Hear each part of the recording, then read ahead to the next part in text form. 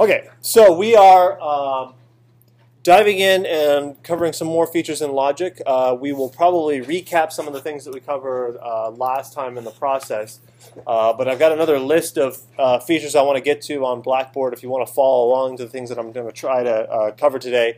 Uh, so on, in today's folder for Tuesday, March 19th is the list of things that I'm going to try and cover. Okay, um, but the one one thing that you uh, will want to know how to do. So this controller that we are using in our hardware demo, okay, not only acts can act as a standalone hardware controller, it can because of the USB connection talk to uh, Logic. Okay, so if you want to use one of these keyboards, and I encourage if there's a few of you that want to do this uh, now for the in-class demonstration, because we are going to be playing some things. So if you want to grab a keyboard, they're there in the cabinet. Connecting these MIDI controllers is really a three-step process. Let me fix the lights here. So them. Okay. One, you want to plug in the keyboard. Two, you want to plug the keyboard into your computer. And three, make sure the power light comes on. Okay. It's pretty simple. But uh, that's really kind of a three-step process for confirming that these, these keyboards are working and that they're talking to Logic. The other thing you can do uh, to confirm that the keyboard is being seen by Logic, okay, if you go to the audio MIDI setup, which might not be in your dock by default, do you have a little black and white keyboard in the dock? Anybody? Or no?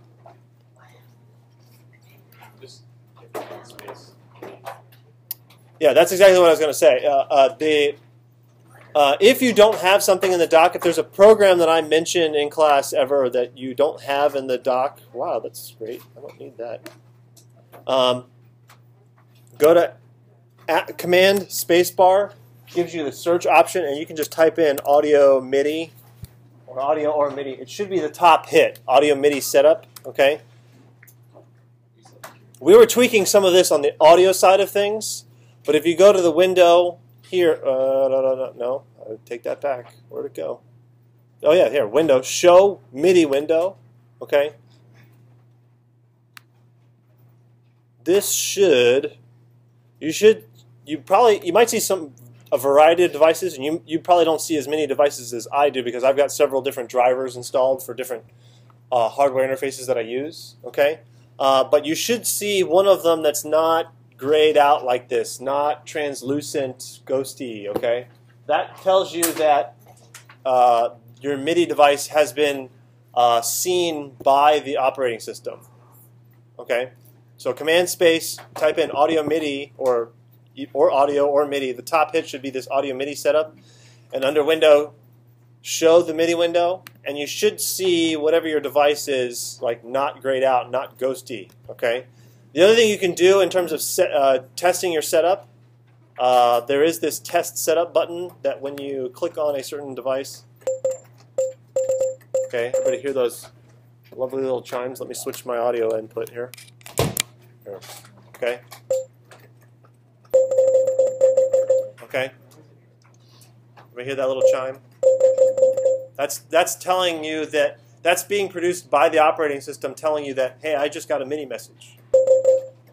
Okay? It's a lovely little sound, okay? Uh, I, I, am a little nostalgic because there used to be a, a, a, nice voice that said MIDI received, which was kind of pleasant to hear. Um, but they decided in their wisdom to change the sound design on that. Okay? So that's one way you can test your setup uh, before getting into Logic. Okay? So I'm going to quit this. Um, usually, if this lights up when you plug it into a USB port, Logic is going to see it. Okay, so we're going to start fr with fresh with Logic with a nice blank project. So I'm going to go ahead and launch Logic. I'm like, maybe get these off my. Okay. Now Logic might do you a favor and try to open the last project. Did anybody else have that happen to them? Yes. Okay. Uh, for this unit project, you are going to be starting afresh. You're going to be starting anew. You're going to be starting with original material. So you're, you want to start with a new blank project, okay? How do we do that? Well, if we go to the File menu, our first option, as usual, is New, okay? So click on New, and it should ask you if you want to close this, the usual song. You can have multiple projects open in Logic at the same time, but it can get rather confusing because they all have windows, okay? So go ahead and close that. This is what the new project window looks like in Logic. Is everybody able to get here? This is a, a, a, an important distinction. If, if you're someone who's a Windows user and is used to closing the window to close a project, those are not the same thing on a Macintosh. You can close Windows all day long, but the program stays open until you quit the program. Closing the window does not equal quitting the program. Okay, that's something uh, Macintosh 101. So get used to that uh, fact, and that's a that's a that's a ch- mental shift I realize for those of you that are used to using Windows. Okay, um, or Ubuntu even I think even does that. So, but on the Macintosh, you have to literally quit the program. Okay, and you have to literally close the project, not just close the window. Okay. So this is our new project window. You can see that there we have a, a, a couple different options here. Okay, uh, producing, composing. Uh, but what I really want you to uh, focus on for starting this project is an empty project. Okay, that's what we're going to start out with today. You can play with these the, uh, uh, these templates at other times, and know that you can actually add these templates. So uh, probably not a good idea to do that in this lab. But if you're someone that has Logic on your own computer, you can actually create templates based on common um, configurations you're using for different projects. Okay. So if you've got a set of synthesizers that you like, that you use on multiple projects for composing, you can actually set that up as a template and then hit uh, start from template and it'll load all those synthesizers for you and be ready to go. Saves you a lot of configuration time. Okay. Uh, in the studio over there, we have a, a, template that's set up for all the synthesizers that are in the studio, basically. So they're already pre-configured in your project. Okay. We're going to be using an empty project today. Okay. First thing that pops up when you launch an empty project is this new track window, okay? Um, we're going to stay with software instruments. That's what we're doing uh, for this unit project, okay, is strictly using software instruments. But notice that there's another option here that says external MIDI. What do you think that does? What now? Activate your controller or your, yeah, your synthesizer, okay? It actually lets logic talk out to some piece of external synthesis gear. Okay? So you can actually send MIDI messages out to that piece of gear and have it render it into sound. Your question? Also, like your, your keyboards included in that, in that when you say gear, like your, the, MIDI keyboard? Uh, no, no, you can use the MIDI keyboard just to drive the software instruments if you have a controller like this. Mm-hmm. Okay?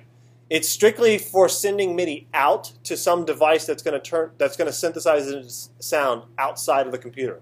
Okay, that's what external MIDI is for. We're going to use a software instrument. Uh, go ahead and create two tracks for now. Okay, if you forgot, you can go back. But I'm going to go ahead and hit create two tracks. Okay, if you're someone that hastily put in one, how can I quickly add a track? Yeah, track new. Or click on where? Click here. Oh, look at that. Wow. JP found an even faster way to do it. Okay. If you just double click here, okay, and you can hit delete to delete tracks as well, okay. There's also this handy plus button here as well, okay. Okay. Somebody's got the test oscillator running. Good.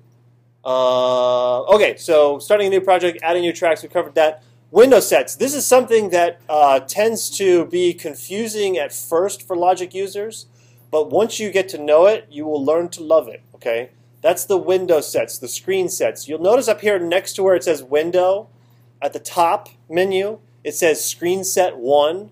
Okay, and the reason this usually frustrates uh, new Logic users is because these screen sets are actually connected to the number keys at the top of your keyboard. So those keys 1 through 0, if you accidentally press those, whoops, I hit the 6 key, something changed. Whoops, I hit the 4 key, something changed. You might notice some window shenanigans shifting around, okay? But you'll also notice that right here next to screen set, it says 4, okay? If I click and hold, I, because I now pressed one, four, and six, it's got a rain, it's got a, a, a, window, a screen set set up for those different keys. Okay, so if I go to screen set one, okay, uh, if I now change, just I'm going to go ahead. Let's follow follow these steps for me. Okay, if you're in screen set one, go ahead and press two. Okay? When I press 2, you notice it says screen set 2 now. I'm going to go ahead and open, click on where it says piano roll and open that up because I might want to be making some changes there. Okay? And then I'm going to actually go over here to instrument 1. I'm going to click on instrument 1 to highlight it. And I'm going to actually insert, I don't know, I'm going to go with the ES1 this time. So I'll insert an ES1. That's going to bring up the ES1 window for that plugin, okay, which has this green alien sheen to it, okay? Everybody will follow that along? Everybody, it doesn't matter if you pick the ES1. Just go to Instrument Track 1 and insert a plugin and have its window open.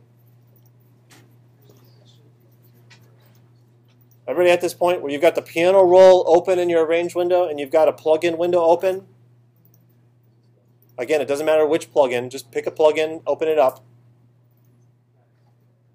Okay? Now, do me a favor. If you make sure, did it say it still says screen set two at the top there? Make sure it still says screen set two at the top. Yes? Yours says one. Okay. Okay, if it says one, you didn't press two at the beginning, but that's okay pick a different number other than the number that you see next to screen set 1 and push it. Watch what happens. It goes back to my basic arrange setup. Yes? Everybody able to do that? So uh, I don't care what number was next to your screen set when you had the plugin open, but just pick a different number, push it, and watch how it resets to the original screen set. Okay? If you want to get the the screen set back with the piano with the, the, the piano roll open and the plugin open again, go back to that number that you had there. Two for, was what it was for me. Looks sounds like some of you still had it on one. Okay. Everybody see what this is doing? It basically saves your window layout and attaches it to a number on the keyboard. Why would this be handy? Yeah, if you're working with multiple synths, or or or even audio versus MIDI, or even dragging clips in versus editing things in the piano roll, or working with this plugin with this uh, this software synth plugin with this effects plugin, you can actually set up up to 10 window sets using the numbers on the top of your keyboard and have them kind of saved as presets. Do you see why that would be useful? Okay? It's frustrating at first if you don't know that because what happens usually for beginning uh, logic users is they accidentally press one of those keys and all of a sudden their windows go whoop and they don't know what happened. Okay? So pay attention to this screen set number at the top and you can start to make use of this by maybe having different screen sets for your different plug your different instrument tr tracks. That that would be one way to use this right off the get-go, okay? But I can easily switch between these now without having to close a window, open another window, close a window, open another window, etc. Okay? That's screen sets. Okay? Uh, okay, MIDI entry. Those of you that have uh, MIDI keyboards, okay, you should be able to play your keyboard and hear it. But once you've got a plug-in on a track, okay, and you've got your USB keyboard connected, you should be able to hear it when you play, okay? Two things. You want to make sure you've got the, the track highlighted. That's what you're going to hear, whatever track is highlighted, okay? You will also notice down here in the, in the timeline, okay, we'll see where I'm circling down here with my cursor. As you play, you see where it says no in and no out? Try, if you play a note, you'll see that it actually shows you what note was just received. Okay. Not only that, if you play more than one note, it's actually going to tell you what chord you're playing. This is a fun way if you're if you're in a keyboard class or a theory homework class, right? Uh, you can actually play it into Logic and it'll tell you what the chords are. You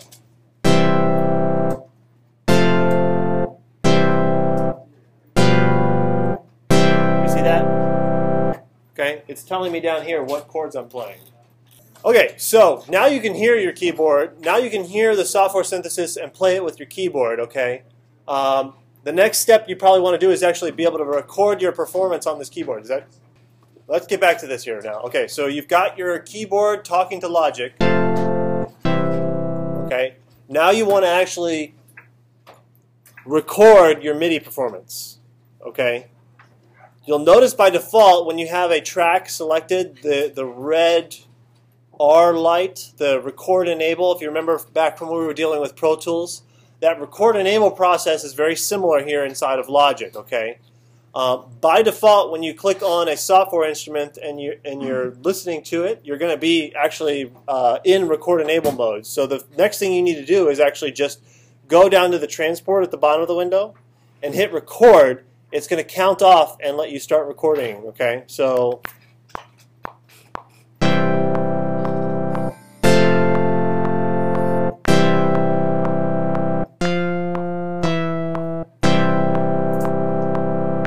Lovely. Okay. Hit stop. Yes, Alex. I was gonna say you, you can, we can also just hit the R key. R key. Okay. Yeah. Good. So that's a good keystroke to know as well. Okay. So everybody clear on how to record MIDI into it, into a track. Okay. Is this the same thing as recording the audio from the software synthesizer? No. Why? I saw you shaking your head, Maisha. Why do you say that? Yeah, audio is not MIDI, okay? So what you just recorded is not the sound output from the synthesizer. It is the MIDI performance that you just that I just did at the keyboard. You put any synth on that they want to. Yeah, you can. Uh, yeah, so that's a good point. So we've got this instrument here that I just played. Lovely. Okay. If I don't like the sound of that synthesizer anymore, all I have to do is go down here and change. I don't know. I'll go over to the EFM one. Great. Awesome. And now it's missing. Excellent. Okay. That's why you're able to change sounds so easily because all you've done at this point is record the MIDI instructions for how to create that performance, not the audio output of that track. Okay. Uh, I might be able to cover that on Thursday, but that is not what I wanted to cover. Uh, actually, how to convert that into audio so you can edit the audio. Uh, there is a way to do that. Uh, we're not going to cover that today. Okay. So let me close that. Let me get on my list here. Okay. So I've mentioned the menus, right? The fact that there's a menu at the top of the screen, and there's also menus here on the arrange window. Uh, there's also a menu on each one of the windows as you bring it up. Okay, so you'll see that. I, again, you got to be specific about what menu we're talking about. I kind of breezed through the zoom controls, but you do have both horizontal and vertical zoom controls. I think you can do command and scroll for uh, the vertical zoom without horizontal. Okay, yeah, yeah, yeah, yeah. So the other thing you can uh, you can do. Remember, I mentioned uh, the floating tool palette. Yes, remember, remember the key associated with the floating tool palette? Escape, right?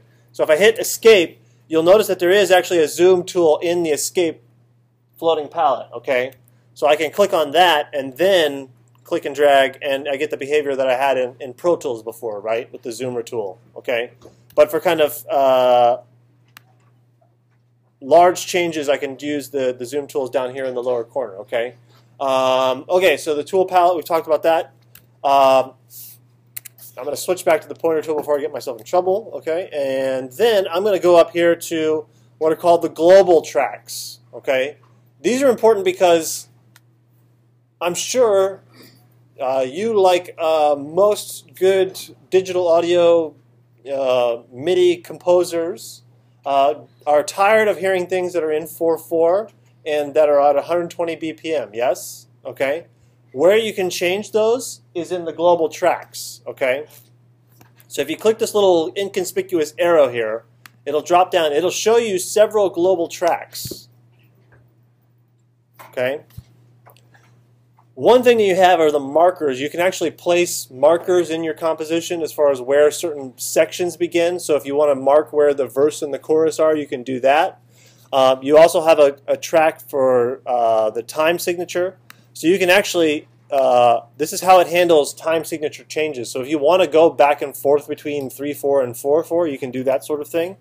Uh, but tempo is probably the most useful of the global tracks. So if you click the down arrow next to tempo, you'll actually see a horizontal line which tells you how fast your project is going. Okay, It's set at 120 BPM by default. Okay, But if I want to change that, I can click on that 120 and I can move it up. So now if I want this to go, I don't know, I'm going to go up to like, you know, gabber speeds up here. Uh, 100. Uh, oh, it's not going to change on me. Why is it not doing that? It doesn't want me to go beyond. I think it changes it just. It It changes the number. change Yeah. It just puts the line back. where it was. Okay, so here.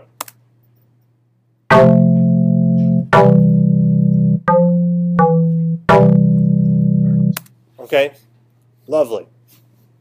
So, what does that mean in terms of the relationship between the speed at which I must play something and the speed at which I must hear something?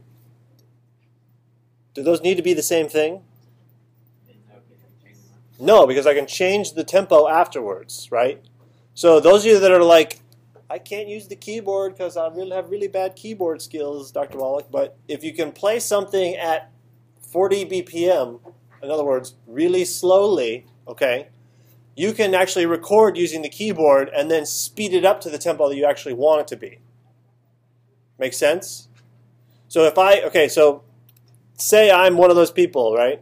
Which I, I actually, I mean, I have pretty bad keyboard skills. Okay, so hit return. I'll admit it. I have no problem admitting it. So I want to go down to like, oh, hey, what the heck? Oh, there's that window set thing again. Everybody see what happened there? I flashed eight, okay, because I didn't have it selected here. Down here in the temp in the uh, transport, okay, I have a, a marker called says 142. If I click type in 80, okay, that's going to slow down my project. And if I now want to, I don't know, throw in another synthesizer here, I'm going to go with uh, the polyphonic synth. Great. That's lovely. Okay. So I want to play this now at 80 because I want to play a melody line, but I'm not so good with the keyboard, so I'm going to record it really slow and then speed it back up. So.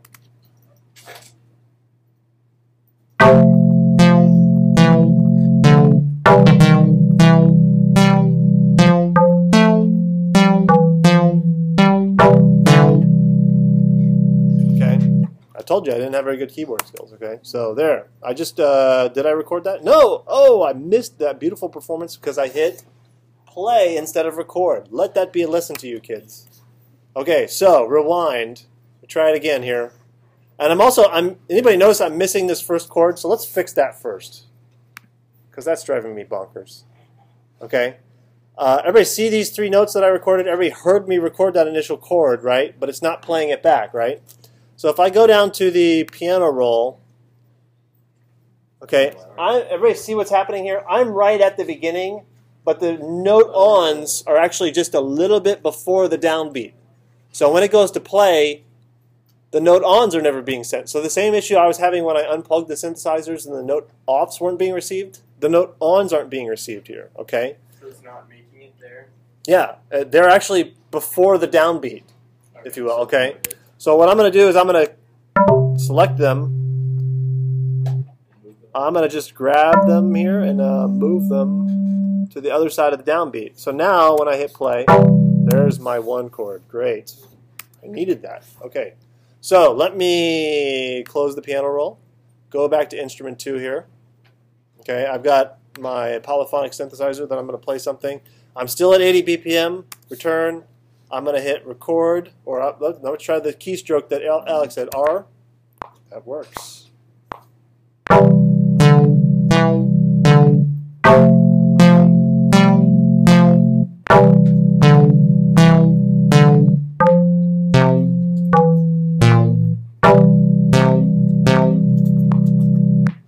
Okay, my brilliant composition that I just created here, okay?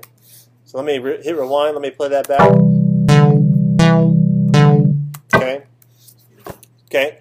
I don't I, I only put it at 80 because I'm more comfortable playing the keyboard at 80. I now want to speed it up, okay? So I can either grab this global track line and increase it, or again, I can come down here to the transport. If I double click, I can put it in uh, 190. Great.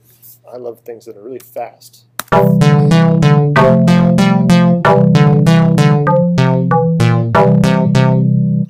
See? Okay. Yeah, Matt. Like something at like you use 190 and then you want like let's say you have a drum track at 190, but then you want the music behind it like the chords at uh, 80 have time. Is there a way to make the drum track? Ah, Okay, so you're talking about transforming the MIDI data, okay? Not doing a global tempo change. So me, uh, I will get there in a minute, maybe. Wow, time is slipping away from me. Okay. Uh, but hopefully you're seeing some new features here. Okay. Let me first show you one other thing. Okay. This is I just changed the tempo for the whole performance. What if I wanted to speed up over time, not just change it to a new tempo? Uh, keyframes, well, the logic equivalent of it, okay? If I use the escape tool, tool, tool palette here, okay? Switch to the pencil tool, I will now be able to actually draw tempo changes here, okay? Or if I go escape again and I actually use the, where's the line tool? No? Maybe this one? Oh, it's not going to let me do that either. Nope. Escape. I guess I have to use the pencil tool, which is kind of, ooh, that's, I'm on the eraser tool, not what I want. Okay. I can actually insert tempo changes. Drops is there a way to get like a smooth tempo slow down? Like, Okay. I'm glad you asked because that's one way to do it. If I want to, let's see here, do a smooth transition. Okay. First off, I need to select. Hold on now. so what's the keyframe on? I'm going to select this part of it, okay? So see how I've got that selected? It's, it's It turns this kind of whitish color, okay? Uh, if I then uh, go to, where is it at? It's been a while since I've done this.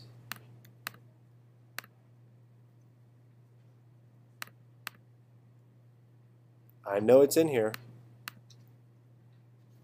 Not that. Maybe it's up here. Options. Ooh, wait. Options tempo. Tempo operations. Okay. I knew it is in one of these menus. Okay. This is where having the multiple menus gets kind of goofy in logic. Okay. I want to actually change the tempo over time. Okay. So I've selected this chunk of my piece. I can hit tempo operations. And look at this. Create tempo curve. I want to start out at 190 and I want to end up at, I don't know, 100 or 100. Yeah. Okay. Click on that. Look at that nice curve. Okay. Uh, the density is how often I want it to create an event. Okay. So one one means that every bar, so every four beats. I want to probably do it with a higher density, something like that. And if I hit apply, look at that, beautiful. Okay. So so, so let me play this now.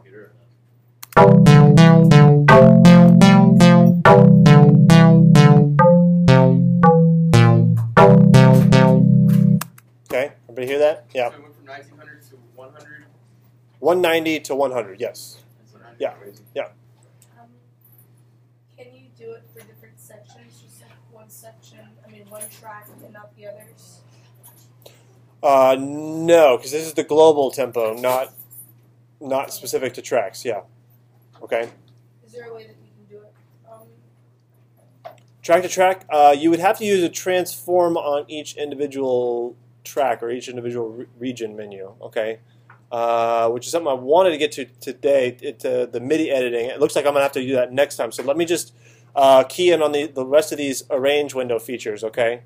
Um, so global tracks tempo. Everybody sees where, where you might use that. Yes. Okay. Uh, the ruler. You do have the ability up here. There's this inconspicuous little I don't know, it looks like a eighth note with a down arrow. If you click on that, if you're someone that thinks easier in time versus bars and beats, remember in Pro Tools we had different rulers where we could measure time in minutes and seconds, or we could measure it in samples or that sort of stuff. This is kind of the logic equivalent. So for a project where time is more important, you can switch it over to time rather than switch it over to bars and beats. Okay. Um, colors and texts and notes. Oh my. Okay. Uh, this is useful. I mean, don't overlook the ability that I can click on this MIDI region, click where it says colors, and I can change it to purple. Okay, so I can make this. Uh, I can I can change the color of individual MIDI regions along the way. Okay, this is more than just an aesthetic choice. This can be very useful for finding where is that one motive that I created. Oh yeah, it's the purple one, and I can see where it is throughout my arrangement. Okay, so the color menu is very uh, important, as are the notes. You can actually type notes to yourself right here about the project. I started this on Uh, you know, I can. I'll start that right here. I start. No, it's not gonna let me type. Awesome. There. I started this project in class on 19 March. Great. Okay. So without leaving the project, you can actually save notes to yourself. Okay. Um, Get there again for the notes. Right here, right next to where it colors, there's a notes tab, okay? And you can have notes on the project and on individual tracks, okay? Um, okay, last thing I want to show you, and then I'll, I'll just mention where we're going with our uh, unit project, okay? You'll notice that when you move, oh, look at that, it's going to actually, okay, click on that. When you move MIDI regions around, it's got this kind of snap feature. You know, everybody notice that? So remember in, in Pro Tools we had slip mode and grid mode, and you could kind of move between those. Logic by default snaps to different things. This is where, yeah, this is where the control key comes into play. If you want to be able to just nudge something a little bit, control drag gives you that smooth slip mode feel. Okay, everybody see that? So by default, you're going to kind of snap to a grid, but if you want to override that, the control key is your friend. Okay, which can help with kind of nudging something, having a little bit of a delay. Yeah. What is the hashtag default? Like, what is, is that just what it names? That's what it names things. Okay. But if you want to change the name of that, escape key, text tool. Okay. This is my recording in class. Okay. Alright. Alright. So you can actually change the name of a region using the text tool. Okay. So I didn't get to show you everything I wanted to in Logic, but that's okay because you don't have a Logic assignment for Thursday. Okay. What you do have though is something that you want to get to help you get prepared for the unit assignment overall. Okay. You are going to be creating a new soundtrack for a video. Okay. So you should, between now and Thursday, select a two to three minute video. It can be either something Creative Commons you find online or something you shoot yourself, okay? But you are not going to include the original soundtrack. You are going to create your own musical soundtrack using MIDI, using these synthesizers to go along with it. It will either be in an experimental style or a minimal style.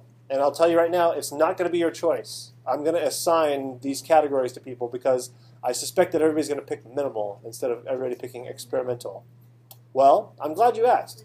If you do your reading for Thursday, audio culture number 32 and number 42, this one is ta- called Towards a Definition of Experimental Music. This one is called A Thankless Attempt to Define Minimal Music. Okay? So, it's like I paid you five bucks to say that right at that moment, right? Okay? So, your two assignments for Thursday, okay?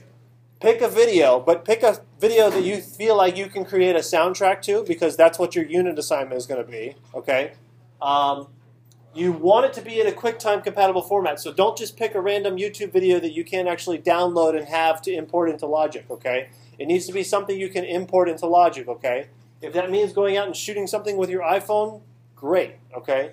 But two to three minute video that you're going to create an experimental or a minimal soundtrack to, and do these readings, okay? Any questions? That's what's for Thursday, yeah.